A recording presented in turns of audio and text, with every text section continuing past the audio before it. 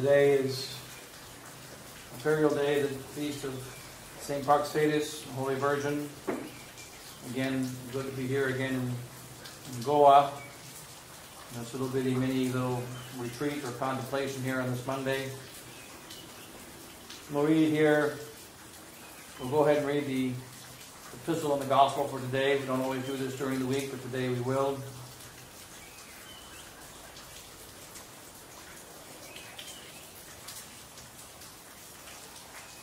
The epistle for this feast of St. Praxedis, Virgin, taken from the first uh, epistle of St. Paul to the Corinthians, chapter 7. Brethren, concerning virgins, I have no commandment of the Lord, but I give counsel, as having obtained mercy of the Lord, to be faithful. I think, therefore, that this is a good for the present necessity that it is good for a man so to be. Art thou bound to a wife? Seek not to be loosed. Art thou loosed from a wife? Seek not a wife. But if thou take a wife, thou hast not sinned. And if a virgin marry, she hath not sinned.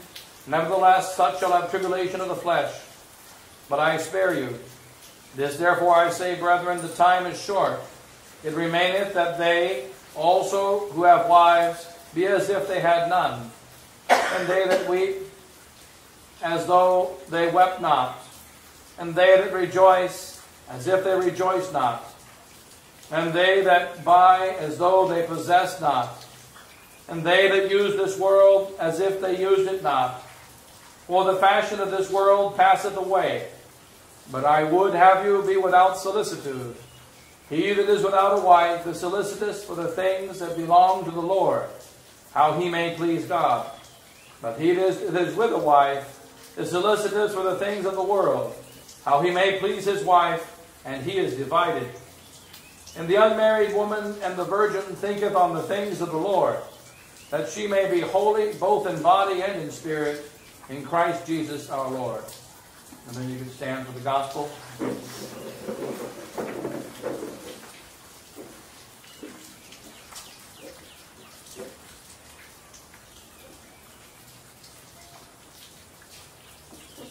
Taking that according to St. Matthew chapter 13.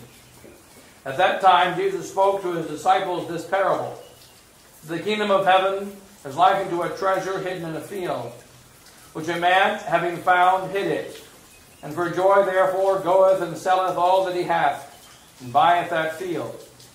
Again, the kingdom of heaven is likened to a merchant seeking good pearls, who, when he had found one pearl of great price, went his way and sold all that he had and bought it. Again, the kingdom of heaven is likened to a net cast into the sea, and gathering together all kinds of fishes, which when it is filled, they drew out, and sitting by the shore, they chose out the good into the vessels, but the bad they cast forth.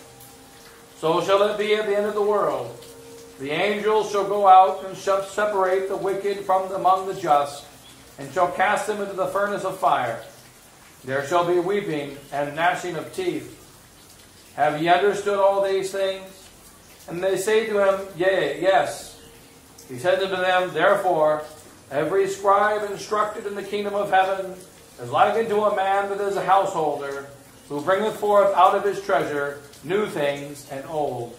Thus far the words of the day's holy gospel. You see it then.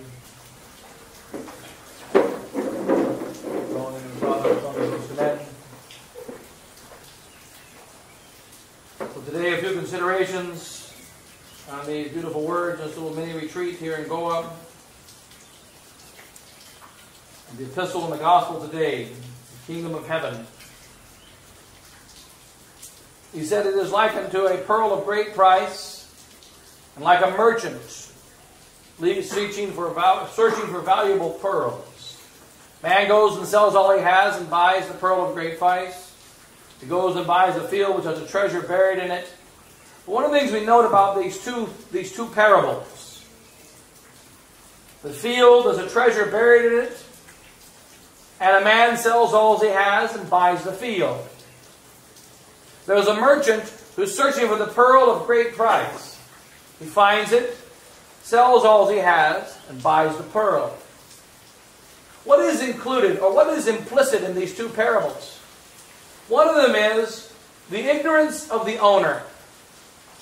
Somebody owns that field, but he doesn't know that there's a treasure hidden in it. A man owns the pearl of great price. He doesn't know its value. Remember one time my brother, one of my little brothers, is a worker. He, they were selling in America. We have these swap meets. We call them swap meets in Kentucky. They call them uh, uh, uh, markets, where people take their old things, they bring them into together, and they sell them. And sometimes they lay out on the table something very valuable, but they think it's only worth two dollars. I met a man just a couple weeks ago, and he was traveling through, and he says, "You know, I'm I'm visiting my my." He was in Kentucky. He said, "I'm visiting my uncle." Said, Why are you visiting your uncle? He says, "Well, you know, he's a good uncle." And finally, after a few minutes, he says, "You know, I found out that there was a little painting that we had in our house, and we were going to throw it away." And now I found out that the painting is worth about $50,000. I really want to see my uncle. And when he finds his uncle, says, You want that painting? Oh, you can have it. Okay, I'll take it off your hands. He was really worried about his uncle. Unfortunately, his uncle had died, and the house was growing up in weeds, and we don't know what happened to the painting. Another time, my brother buying tools, an old rusty tool, and he sees the tool there, it's worth about 300 American dollars. So what's that? About uh, about 15,000, 16,000, 20,000 uh, rupees. And it was for sale for 20 rupees. And he said, well, I, I think I'll take this and I'll take that. Well, what is it? I don't know. Hmm. Hmm, whatever. Hmm. And he bought it. Now, what is included in the parable today the field has a great treasure in it. But the owner of the field does not know that it has a great treasure, and he's ready to sell it. You know that in 1967 or 68, New York City, in America, they were throwing off their habits after Vatican II. Nuns don't need their habits anymore. They were throwing away the crucifixes. They don't need them anymore.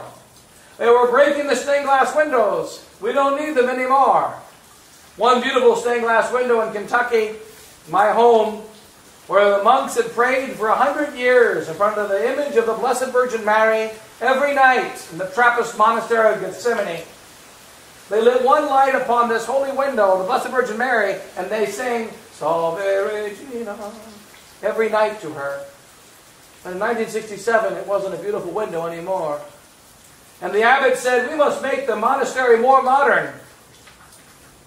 And they took sledgehammers and they broke the window. They removed the window and they replaced it with iron poles. And now is a blank wall where used to be the Blessed Virgin Mary. They didn't know the treasure of Mary anymore. And these nuns in 1967, about that year in New York City, they didn't need their habits anymore. And they used to have a silver crucifix that they would wear on the outside of their habit. So they went into New York City to a Jewish jeweler who was friends with Bishop Fulton Sheen. And the sisters came with their crucifixes, Catholic sisters, to the Jewish jeweler.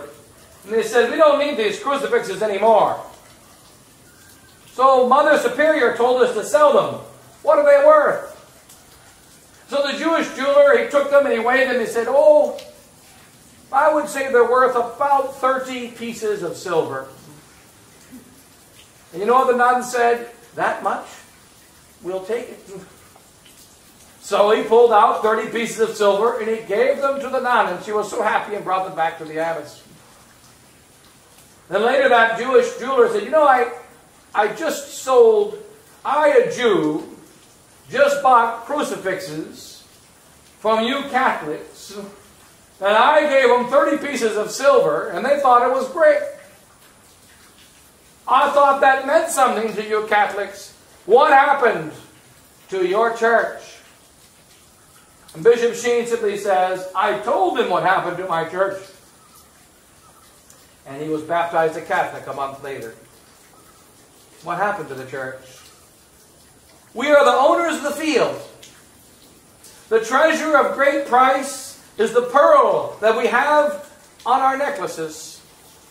The great treasure of the field is buried in the field of our holy church, and we're ready to sell it. The bishops have been selling the churches in the United States for years, and in, and in, and in, and in Europe. They're selling the great treasures. They don't need them anymore. They don't want them anymore. For instance, the bishop in Avrillé, France, the Bishop of Angers in France, where I was just a few days ago. There is a beautiful little field where 3,000 martyrs were killed by the French Revolution. And they buried them in a mass grave. And it is a, a martyrdom grave of 3,000 saints. And then they, as Catholics, built a little chapel, a kind of chapel over it, and they put stained glass windows of these martyrs, and people used to go there and pray. But about five years ago, or maybe ten years ago, the bishop said, We need money. And so they sold the land.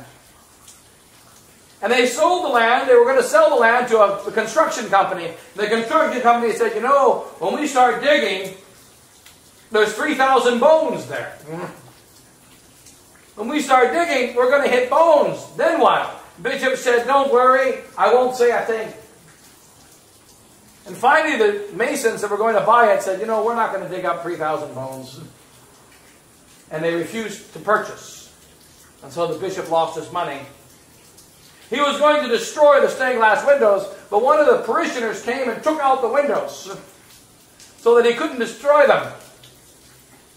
And they said, Look, we will give them back to you when you allow the people to go and pray there again. And this kind of thing is happening everywhere in the world in our Catholic Church. The kingdom of heaven is like unto a field in which there is buried a great treasure. Now, in the parable, we consider this the man who owns the field doesn't know there's a treasure. But you know one of the problems is who buried the treasure in the field? Who hid the treasure? It was the original owner that hid the treasure. The Jews hid the treasure in their Old Testament, and then when Jesus Christ came, they sold the field. We don't need Jesus Christ. We don't need this new Messiah. Let his blood be upon us and upon our children. We want nothing to do with him. And the Gentiles said, All right, if you don't want this great treasure, we'll buy it. And they bought it. And those the Jews called the Goy, the Goyim, the scum of the earth.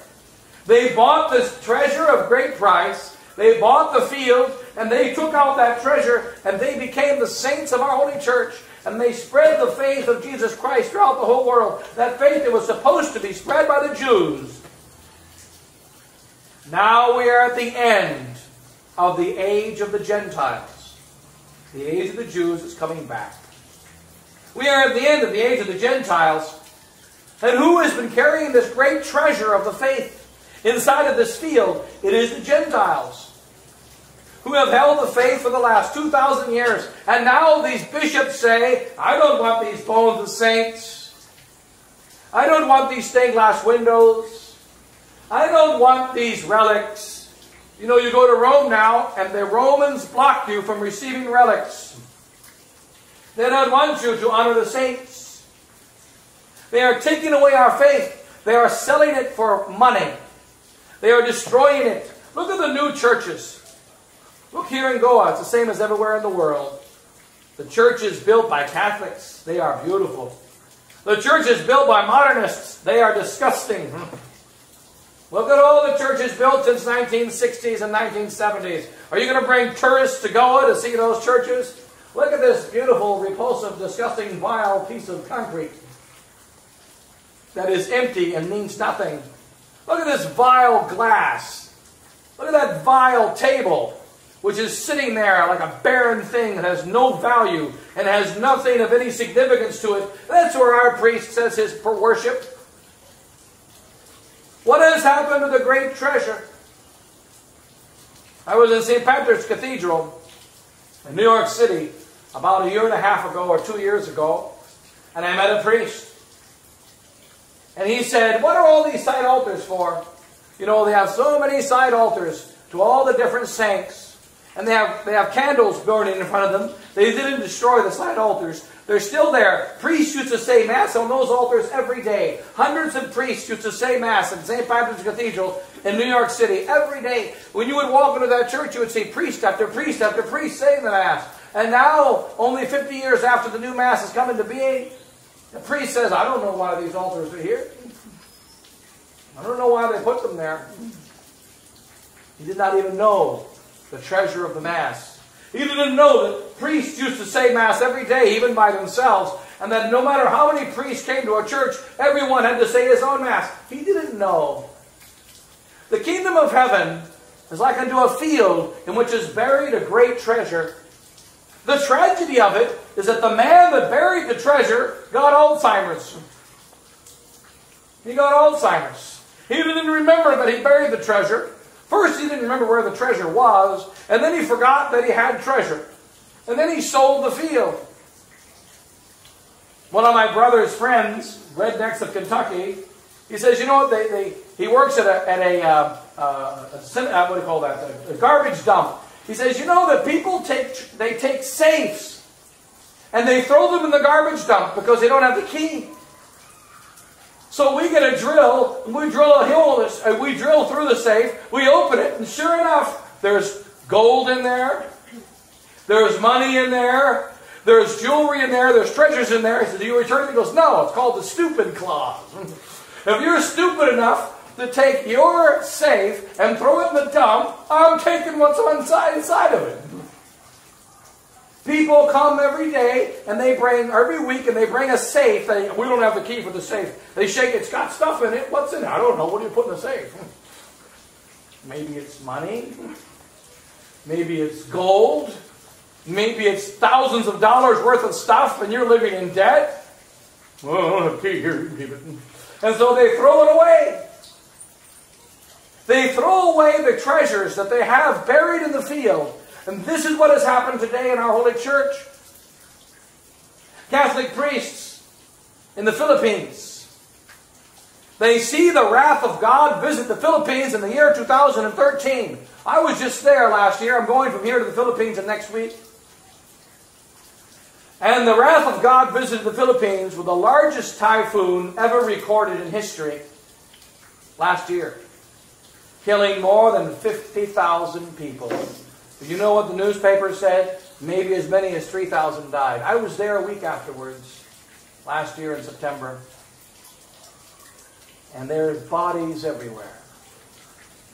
Whole villages wiped out. They just simply took the bodies and they dug these mass graves and threw them in the graves. The whole city of, of, of uh, Tacloban in the Philippines, Leyte, destroyed like a nuclear bomb hit it. The largest winds that have ever hit the, shore in the last 300 years, as long as typhoons have been recorded. The greatest typhoon ever recorded, killing thousands and thousands of people because God is angry. Why? Because in December of 2012, the Filipino people voted that they will have only two children in their families that it is illegal to have more than two children. And they have what's called the RH bill, the reproductive health bill. And Catholics voted for the death of children. Catholics voted for the death of their families. They voted against the law of God. And in the next year, there was a war. And there was a great earthquake. The month before this typhoon, in the church, the oldest church in the Philippines, the bell tower broke. And the second oldest church in the Philippines collapsed. I used to visit that church often in the island of Bohol. And other churches were destroyed and had been visited by so many earthquakes in the last 400 years. But that earthquake finished them off. Because God is angry. And they're giving away the treasure of their faith. Catholic country, giving away the treasure of their faith. Selling the field. Who wants to buy the field? The kingdom of heaven is like unto a field in which is buried a great treasure. But who gets that treasure? It says it in the second parable. merchants. What are merchants? Negotiation, negotiators, it says in Latin. People that are negotiating, trying to get a good deal. Negotiators. They want to get the treasures. There are some people looking for happiness. There are some people looking for perfect happiness. There are some people looking for truth, and they want all truth. There are some people searching the whole world. I want the truth. I want happiness. And they search and they search and they search, and they see so many plastic pearls. And they see so many fake jewelers selling made in China goods.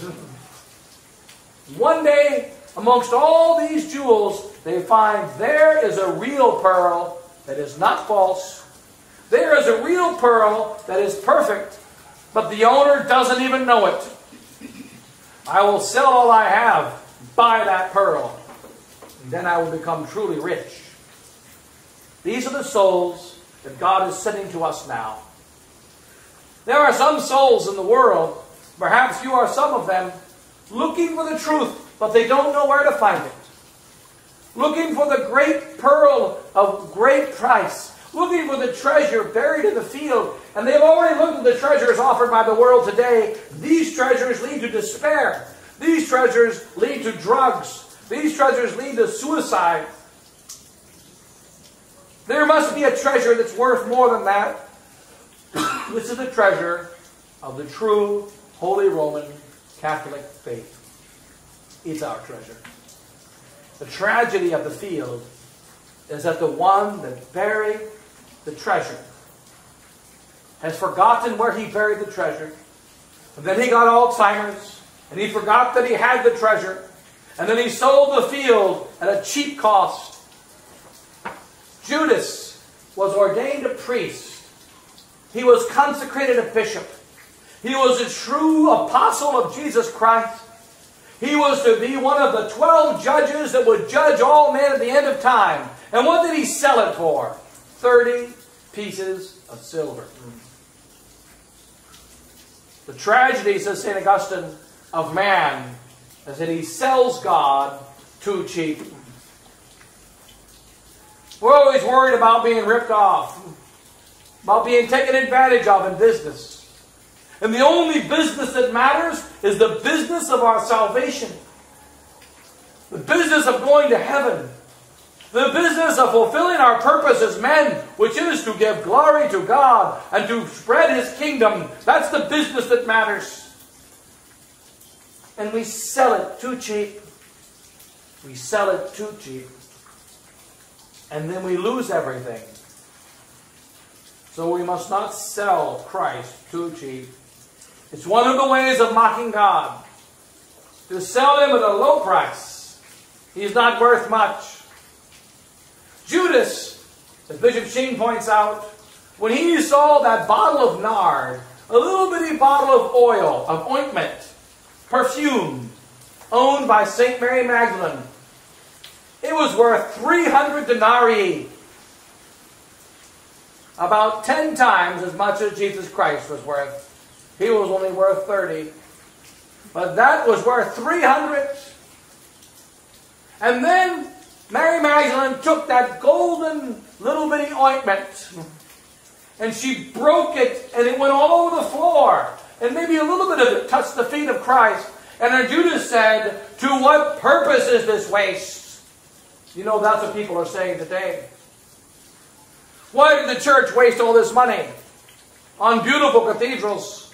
Why does it waste all this money on beautiful chalices? Why does it waste all this money on this place that is called the house of God? Why doesn't it spend the money for the poor? That's what Judas said. This could have been sold and given to the poor. And what does the gospel evangelist tell us? I believe it's St. John. He did not say this because he loved the poor. He said it because he was in charge of the money and he was a thief. And know this about the social justice crowd in the Catholic Church today. One good example is Pope Francis, the humble Pope. the humble Pope who's going to distribute his money to the poor. Only he lives in a fancy hotel. And he is living the lap of luxury. But he gives the name of being poor. It's not true. And so it is of many priests today. You go to the church and it is empty and cold, but go to the rectory. Very beautiful furniture, very nice things. Why do they say we must give to the poor? Because they are thieves and they want the treasure for themselves. And therefore, the evangelist tells us, and Judas said, To what purpose is this waste? This could have been sold for 300 pieces of silver, and we could have used the money and given it to the poor, and I would have got my cut. I know the Indian rule 80 20. 80% for me, 20% for the job. Of which part of that, of course, is my pay. The 80 20 rule. That's the rule of Judas. They speak of a treasure. But Lord Jesus Christ said, But what does a negotiator do? What does the true merchant do? He looks for the true pearl of great price. And when he knows it's a pearl of great price, how does he prove it? He sells all he has. He's ready to give up everything to get that pearl. That's how he proves it. He's ready to give up everything in order to buy that field because it's the only treasure worth having. And this is what makes the Catholic different from the mercenary. He's ready to give up everything for that pearl. Everything for that treasure. Now, are we ready to give up everything for the treasure of our faith? Are we ready to give up everything for the treasure of this holy gospel and the holy truth that only comes from God and from the true Holy Roman Catholic Church and from nowhere else? Are we ready to sell such great treasure that God gave us at baptism? Are we ready to sell it at so low a price for the false pleasures of the world that will be taken away from us? It's foolishness, the life of the sinner. But the wise man follows the saints. The wise man follows the just man who sells all he has to get the great treasure. As we must thank God for the treasure of the faith that He gives to us and ask that He sends souls, so many lost souls throughout the world, who though they are lost souls and do not know where to go, remember that St. Mary Magdalene did not know where to find Christ on Easter Sunday morning, but she went looking for Him anyway. And therefore Christ found her. And if we search for the pearl of great price, even if we don't know where it is, and we don't know where to look, and we don't know what it looks like, and we don't know what to look for. But if we really want the pearl of great price, which is the sacred and divine truth that is Christ Himself, the sacred and divine love, which is the blessed sacrament, the sacrament of charity, the sacred and divine faith, which comes to us at the Holy Sacrament of Baptism, the holy sacred church, if we really want the pearl of great price, even if we don't know where to look, Christ will see that we find it. Pray for such souls and for God to give us the great desire to find the pearl of great price, the same Praxedis did, one of the great martyrs of 1,400, uh, 700 years ago, and that we also go after that pearl of great price. And when we hold on to it, never, never, never let go.